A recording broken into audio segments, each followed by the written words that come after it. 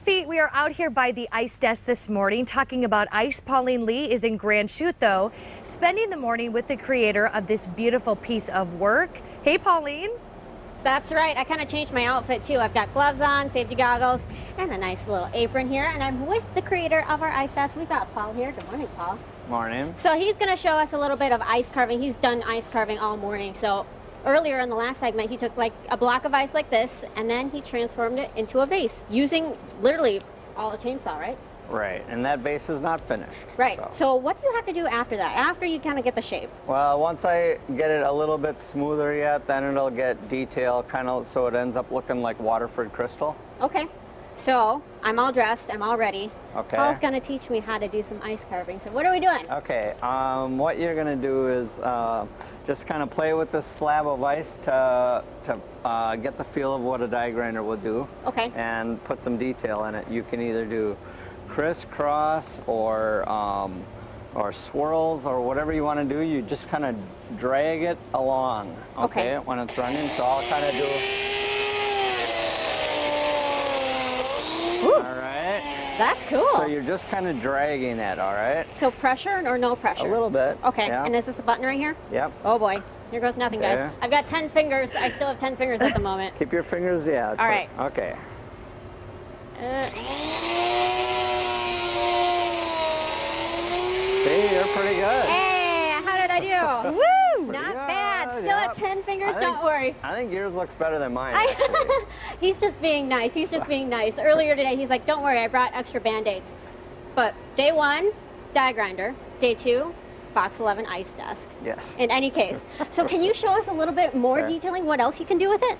Oh, sure. Um, well, this one I do like... Uh... right on the camera.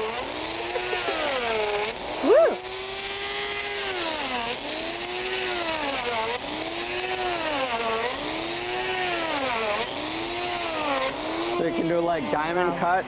Oh, wow. You can you guys do... still see us? It's a little wet on that. Oh, we can still see you, Pauleen. That's why you wear those goggles, right? That's right.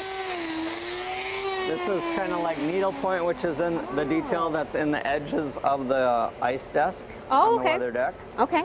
Okay. Wow. And we'll flip it over if I can get it off the board. Oh, it might be frozen. Yeah. Ah, there we go. I think we have time for maybe one more. Okay. Well, actually, I could have shown the other thing. Normally what I would do mm -hmm.